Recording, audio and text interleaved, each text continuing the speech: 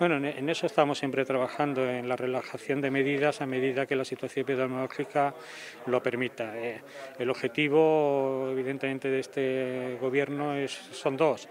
Uno, preservar la salud pública, eso como, como número uno, pero por otro lado también mantener y y permitir que las actividades económicas se desarrollen lo mejor posible. Entonces, en cuanto tenemos una oportunidad de poder relajar medidas, las relajamos.